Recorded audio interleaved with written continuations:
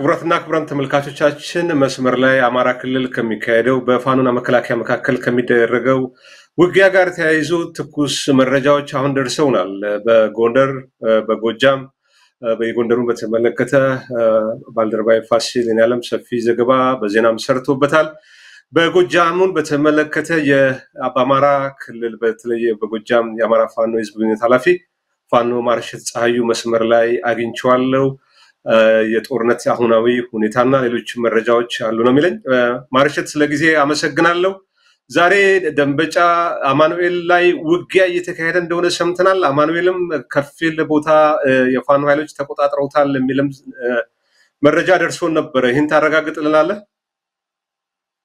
አዎ ልክ ነው። ሶስተኛ ቀኑን የያዘ ጦርነት ሲካሄድ ነው የዋለው። ዛሬም ከፍተኛ የሆነ ማጥቃት እያደረግን ነው። ከትልቁ ወታደራዊ ማሰልጠኛ ከሚገኘው ጭምር ኃይል እየወጣ አካባቢዎችን ለመቆጣጠር ጥረት ሲያደርግ ነበር። ነገር ግን በደፈጣና በሽምቅ የወጣውንም በአካባቢ የተንቀሳቀሰውን መሀል አከርካሪውን በመስበር ቦታውንም ተቆጣጥረናል። በርካታ ቁጥር ያለ ጠላት ሰራዊትን ደምስሰናል። መሳሪያን ተቀብለናል። ስለዚህ አማኑኤልና ደንበጫ በፋኖ ኃይሎች ስር ነው የሚገኘው። እንግዲህ ሌላስ ምን መረጃ አለ በጎጃም አካባቢ? ሌላው ጃዊ ዛሬ አስረኛ ቀኑን የያዘ ውጊያ ተደርጓል።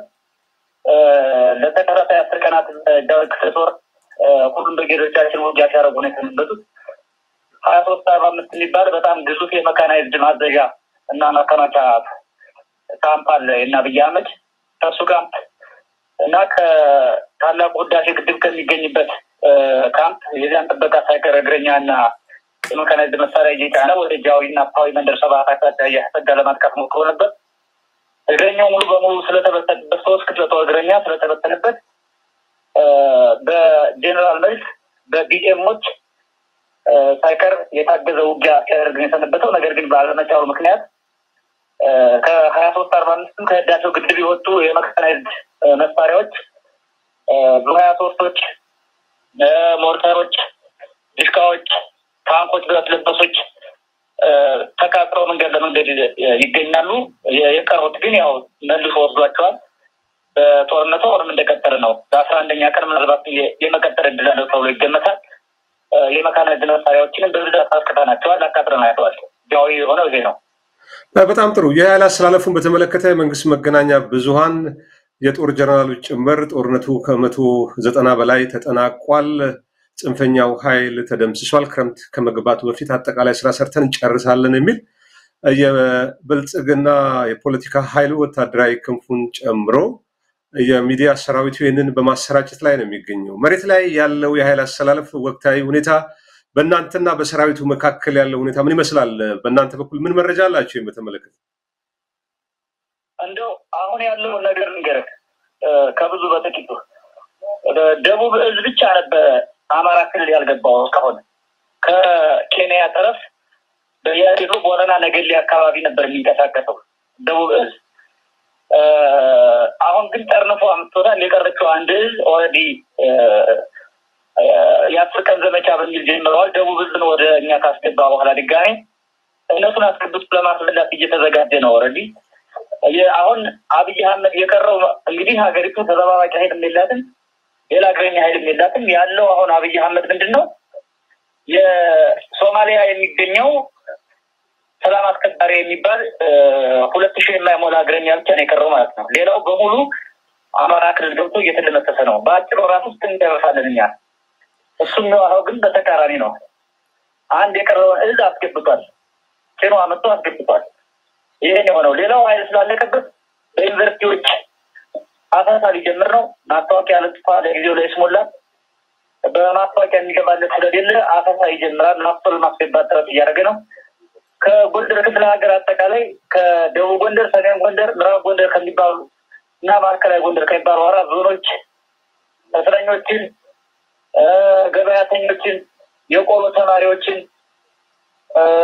ሳይቀር መንገደኞችን ሳይቀር አብሶ በአምሳ አውቶቡሶች ባህር ዳር አምጥቷል። እኛ በደፈጣ ጥቃት ሁሉንም ማጥቃት እንችል ነበር። ነገር ግን ያለ ኃጢአታቸው ያለ ፍቃዳቸው አብሶ በግድ የመጡ ስለሆኑ ዳር እስከሚገቡ ድረስ ታግሰናል።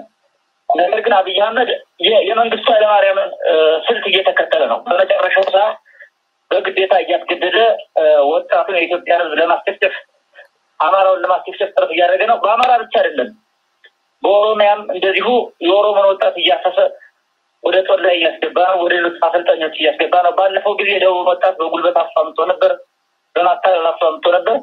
እየሆነ ያለው ይሄ ነው።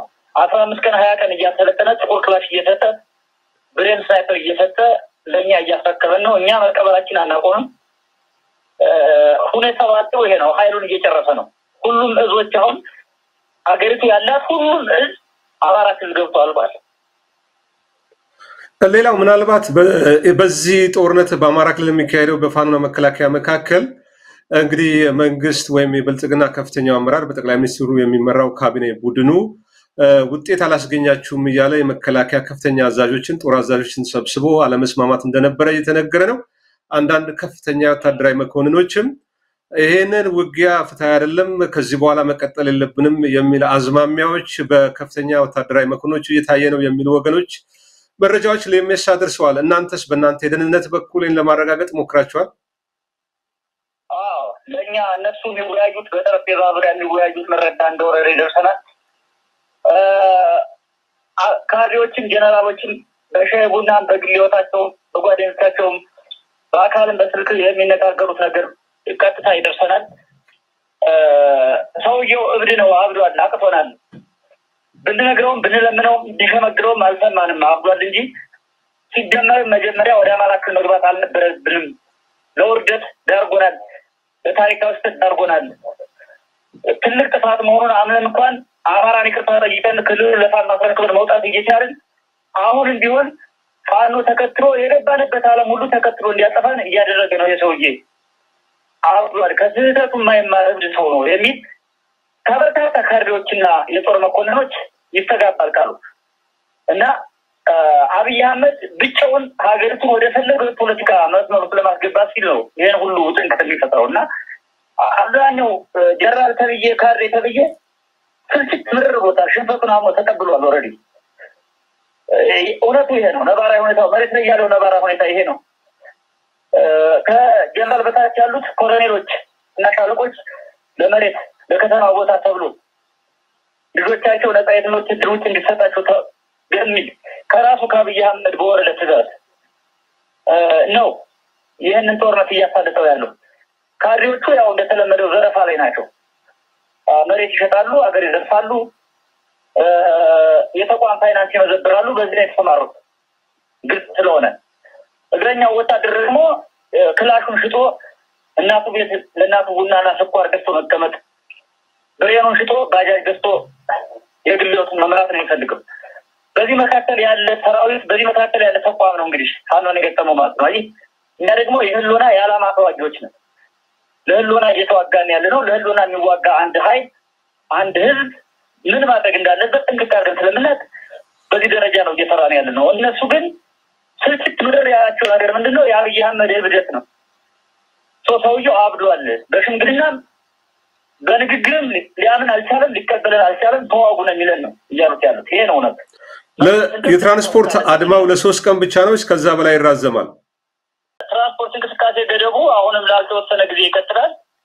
በእኛ የደህንነት ትንተና መሰረት ጠላት የሚያንቀሳቅሰው ተተኳሽና load አለ፣ የሚያንቀሳቅሰው ሬሽን አለ፣ የሚያንቀሳቅሰው የሰራዊት የሀይል ብዛት አለ። እሱን ለማስተጓጎል ስንል ያደረግነው ስለሆነ በዓላማ የተደረገ ስለሆነ ወደፊትም ይቀጥላል። ይህንን አሁናዊ በተለይ የደቡብ እዝና ሌሎች ያሰባቸውን ሀይሎች እንቅስቃሴ ጋር በተያያዘ ለማጥቃት እንዲመቸን እና ገደቡ ውጤታማ የሆነ በጠላት ላይ የምናደርገው ኦፕሬሽን ለማሳካት ያለመ ስለሆነ ይቀጥላል ገደቡ። ህዝባችንም እንዲታገሰን ተከታታይ ጥሪ ያቅርበናል። ህዝባችን ያው የመኖር አለመኖር ህልውና አደጋ የገጠመው ህዝብ ስለሆነ ሁሉንም ስለሚረዳ ይታገሰናል ብዬ አስባለሁ። እውነቱ ይሄ ነው። ይቀጥላል ወደፊት። በጣም አመሰግናለሁ። ፋኖ ማርሸት ፀሐዩ በጎጃም የአማራ ፋኖ ቃል አቀባይ ለሰጠኝ መረጃ በሜስ ተመልካች ስም ከልብ አመሰግናለሁ። እኔም አመሰግናለሁ።